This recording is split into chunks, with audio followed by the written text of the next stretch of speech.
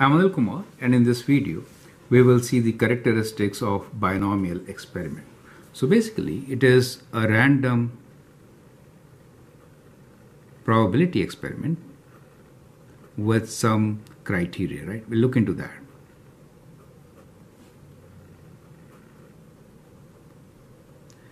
So the criteria is that this random probability experiment is well defined and will have different trials. So in this particular binomial experiment, all the trials should be independent. So we have, we could perform trials which are all independent. So we have independent trials.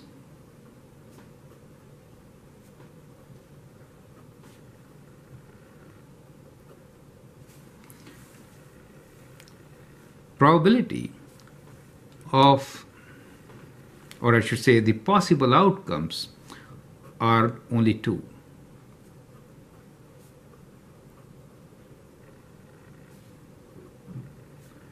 Only two, which could be either success or failure. Right?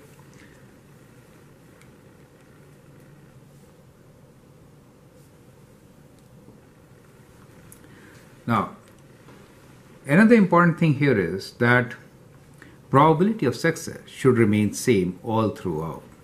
So possible outcomes are only two and then probability of success remains same. Uh, we normally say letter P lowercase.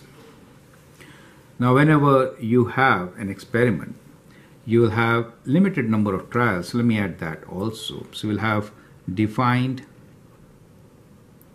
or limited number of trials.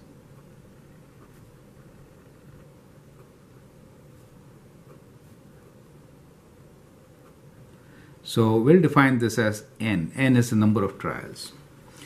And probability of success is p, right? So obviously for failure it will be normally you say q which will be 1 minus p okay. So we have n number of trials out of which the probability of success is p and probability of failure will be 1 minus p. So we have only two options success or failure. So that is what our binomial experiment is. Now in any binomial experiment when we are having a trial it's very important to understand a criteria. That is we have to define a random variable that random variable is what we are looking for. The output of random variable is what we are looking for. So a random variable is defined in a binomial experiment, let's say it is x, which gives you criteria for success or failure.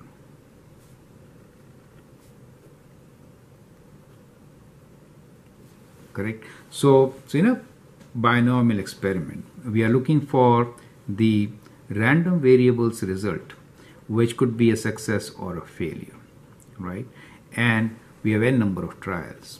So we're trying to find out answer to one question.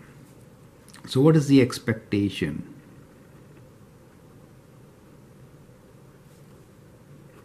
Of x to be a success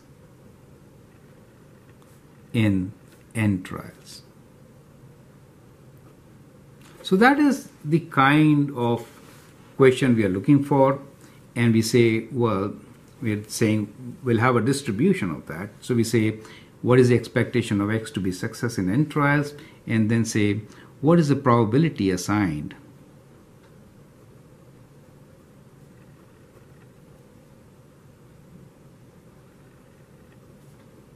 to each element of x, right? So each element of x.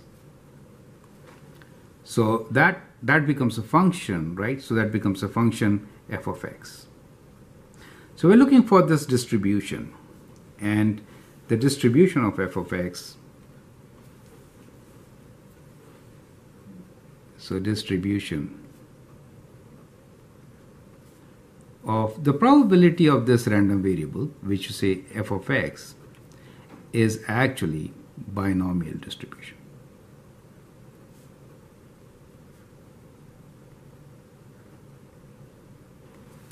Do you understand? So these are main things. We'll actually take up a um, few examples and elaborate more on this. So at times we say, well, binomial distribution could be written like this, where in brackets we may write n comma p. So that indicates that this experiment which we have performed is a binomial experiment where there are n number of trials and in each trial the probability of success is p, right? So that gives you all the things which we have come across. One is n, the number of trials, right? And p, the probability of success. Do you see that?